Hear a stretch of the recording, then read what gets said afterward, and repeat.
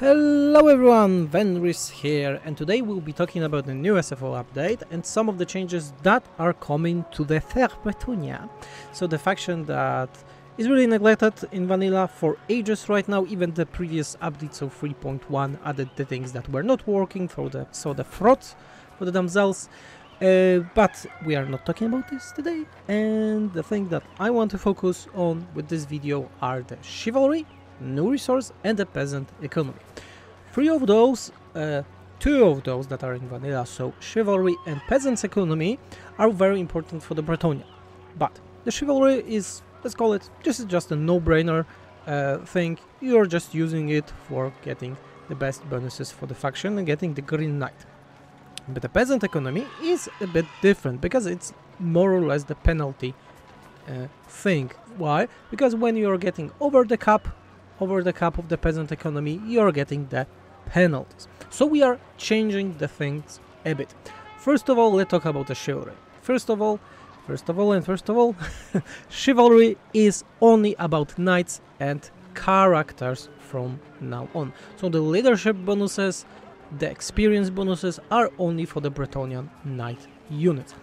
Of course, in the FSFO, if you don't know, depending on the chivalrous level, you are able to summon Green Knight outside of being an agent in the defensive battles for all of your Bretonnia defensive battles.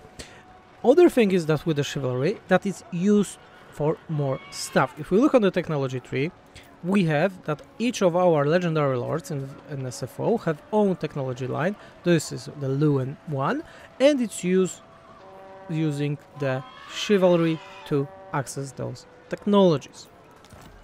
With the peasant economy, the big change in SFO upcoming update is that depending on the tier of, of peasant economy, it will be giving different bonuses. Those effects that you see are the maximum value when it's above a, a value of cap. Yeah, so below, let's call it maybe. Uh, those are quite simple, yeah? Income from farms, construction time, casualty replenishment for all the peasants, and upkeep for all the peasants. So as you can see, we have a big separation right now. Chivalry is all about the knights, peasants economy is about the peasants, yeah. But when the thing is going under the cap, like, so you want to make all peasants armies, yeah? So minus 21 to minus 40, those effects will change. We'll have higher control over our populace, peasants' melee defense will increase their experience gain and income from farms. Those are the effects, and all of those effects are positive, but the income from farm is not. As you're getting more peasants to army, less of them are working on the field. But still, as you can see, if you have more than the cap, uh, then the economy is weaker, but the peasants itself and the control is higher for the whole faction. And the third resource that we have right now that we are adding with this update is called Valor. Valor is quite simple thing because you're getting it from vows.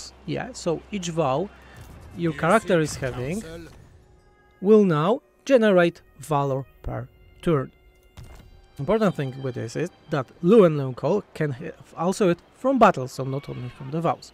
And it's used for two things. Technologies and heroism, you saw it with technologies, we locked some of the technologies under Valor right now. So technology uh, for Bretonnia having a lot of changes, but this is not the topic for this video. This is one of the new resources in the technologies. Other thing that is used the most are the units. So all night unit knight units have the upgrades right now system. And if you go, we have something like heroism renewal, so the unit replenishment is way higher. Hero heroism is indomitable, so uh, when under thresholds of health, unit is having better stats. And the last one allows a unit to dismount during the battle. Yeah. So in battles, you can use this new ability to dismount. And use, using it on your unit, make it that it's a foot unit to the end of the battle. Of course, for the Bretonnia we have way more uh, interesting changes, but again, this would be like a for the full video. Thank you everyone for watching, and that was Venris. I'm out.